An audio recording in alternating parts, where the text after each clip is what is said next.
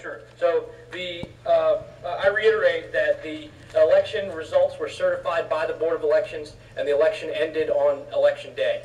Uh, The city charter, the way that, that our city attorney, Mr. Sussman, and our city manager worked on this, the election results were ended, the the elections was certified, and the, the, uh, the vacancy was created by the failure to elect a city council member.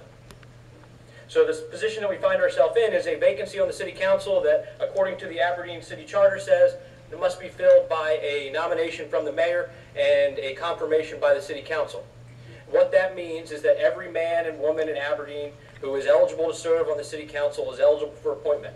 Uh, uh, Who's been in the city, to be eligible, you have to have been in the city limits for two years uh, and be 21 years of age and a registered voter.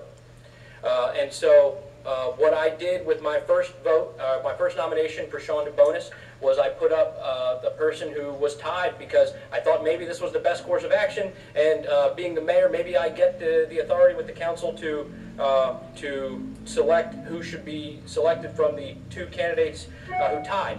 But that was silly. And I get that.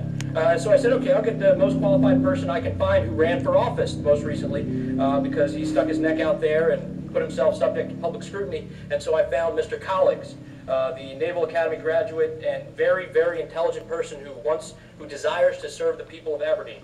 Uh, and so I gave it to the council, and I guess that we have more work to do, but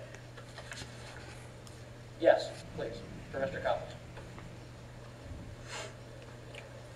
So please call, uh, give us the count, Madam Clerk. Councilman Taylor, no. Councilwoman Landbeck, no. Councilman Lindecamp, no. Mayor McGrady, yes. So the confirmation vote fails, uh, one to three. Very good, thank you.